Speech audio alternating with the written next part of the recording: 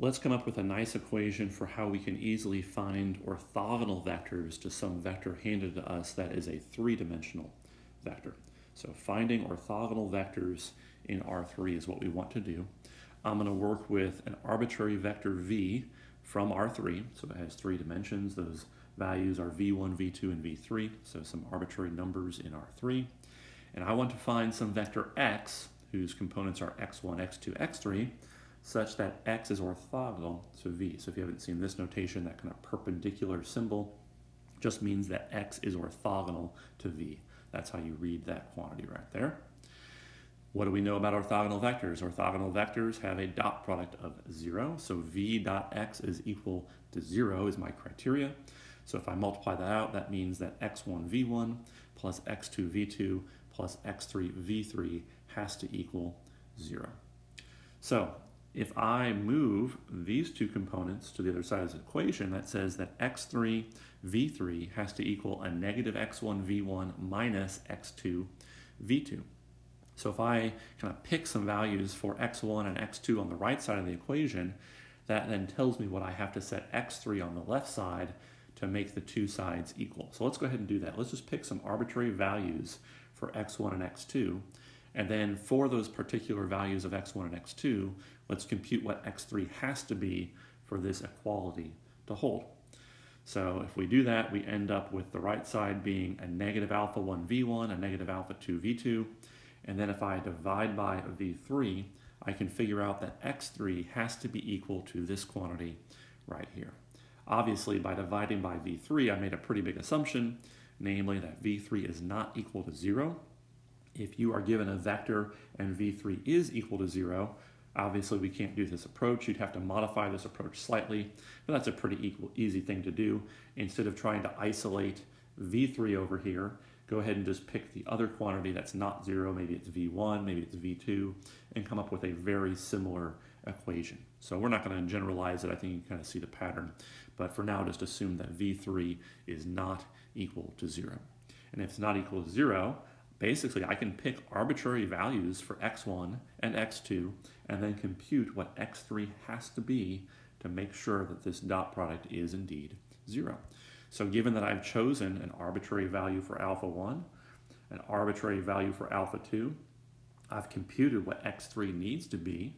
It needs to be equal to this, and this is my vector x. Notice that this is for any values alpha 1 and alpha 2. In the previous video, when we were given a single vector in R2, I could find two vectors that were orthogonal to it in R2. In R3, if you give me a vector I can find basically an infinite number of vectors in R3 that are all orthogonal to that starting vector. I can basically pick one that's orthogonal and then kind of spin it around to an infinite number of locations, and those vectors are all orthogonal to my starting vector. So there's basically some free variables here that we can choose arbitrarily. As an example, let's go ahead and do an example. Let's say that we're given the vector 1, 2, 3, and I want to find some orthogonal vector to it. There's actually an infinite number of orthogonal vectors. Let's just find one. So I'm going to go ahead and pick some alpha 1 and alpha 2, right? And then I'm going to, based on those values, go ahead and populate a negative alpha 1 over 3, because there's a 3 there, minus alpha 2 over 3, because there's a 3 right there. Remember, whatever that third coordinate is, we divided by it right there. So an infinite number of vectors I could construct.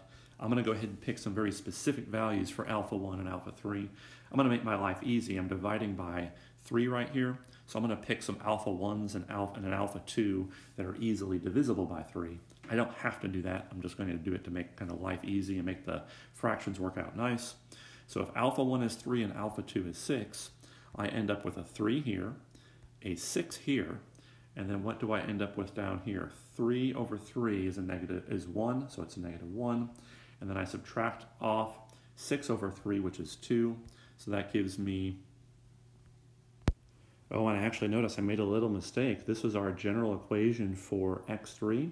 And when I wrote this down over here, initially I left off the v1 and the v2 that was sitting there, right?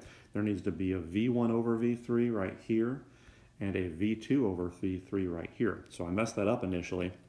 So when I wrote out this right here for arbitrary alpha 1, alpha 2, I really needed to have minus alpha 1 times v1, and v1 is 1, minus alpha 2 times v2, and alpha 2 is 2. So be careful there. I definitely messed that up when I wrote it down initially. I went and backtracked and fixed it right now. And then we can go ahead and talk about how do I get that third component. 3 over 3 is a negative 1.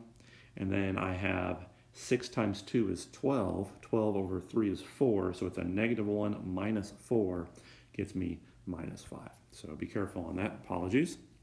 All right, so let's go ahead and check this. I claim that that is an orthogonal vector. There's actually an infinite number of them. And we can go ahead and check and make sure that this is indeed orthogonal. I can dot it with my initial x, so 3 times 1 plus 6 times 2 plus 3 times a negative 5. This is 3 plus 12 minus 15, which is indeed equal to 0. So just a little example of an easy equation for how you can write down a vector in R3 that is orthogonal to some initial vector. This assumes that V3 is not zero, but you can easily do a similar thing on another coordinate if your particular vector is zero. All right, that's it for now.